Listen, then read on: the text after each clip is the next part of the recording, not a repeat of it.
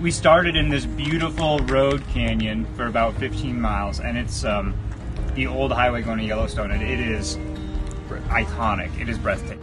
It was super cool. Um, there were a couple guys that got real eager early, and um, I didn't want to do too much, thinking like realizing we still had you know five or six hours to go. Um, but uh, you know the race started to break apart on some early hills. Um, there's a lot of vert in the beginning and a lot of vert in the end, and the middle is a lot flatter.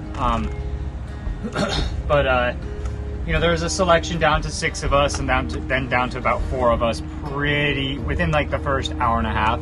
Um, and that kind of settled in there, and then you know it was a stark realization that we had quite a long way to go. Um, and then uh, you know the course, the way it's laid out, I mean it, it is already an iconic gravel grinder and one that I would put on anyone's bucket list just because um, you got everything. You got amazing reservoirs and vistas, um, slot canyon style riding at first, and then you got like smooth highway near highway gravel, and then you got like chunky stuff, you got sandy stuff, you got steep pitches and twisty technical stuff.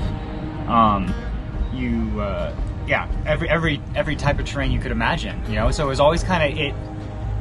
Mentally, it goes by a lot faster than when you think about a hundred mile gravel grinder. Um, so it was a really joy, really a joy to ride. Um, and then, uh, you know, we kind of hit this sandy part at about mile 60 called the Oregon Basin.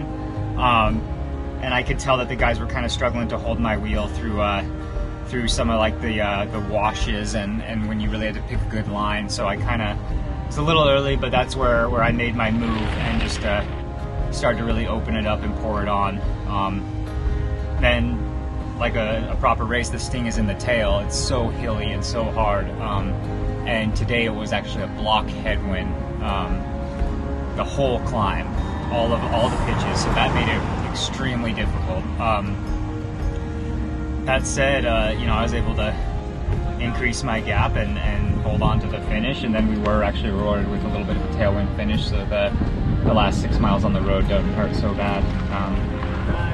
Come back to downtown City Park, and it's time for some beers and some some tacos.